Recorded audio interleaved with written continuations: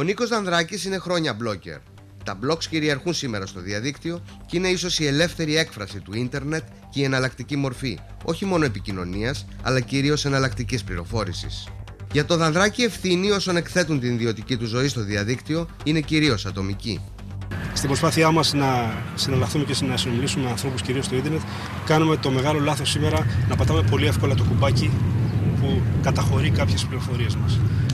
Ε, το κάνουμε μεγάλη ευκολία γιατί νομίζουμε ότι είναι κάτι τυπικό, ε, όμως είναι εξαιρετικά ουσιαστικό γιατί καταχωρείς πληροφορίες σε χιλιάδες τόπους οι οποίοι αυτά τα δεδομένα δεν τα περνούν έτσι, ε, τα διακινούν.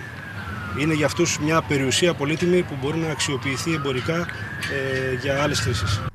Αν οι μεγάλες διαφημιστικές εταιρείες αγόραζαν και πολύ ακριβά στο πρόσφατο παρελθόν πληροφορίες, τώρα μπορούν να τις βρουν χωρίς ιδιαίτερη δυσκολία από εμάς τους ίδιους.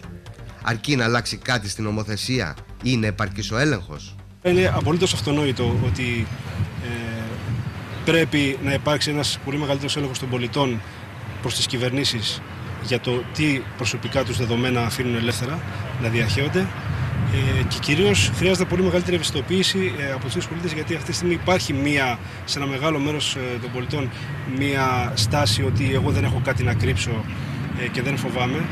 Η αλήθεια είναι ότι έχουν πολλά να κρύψουν.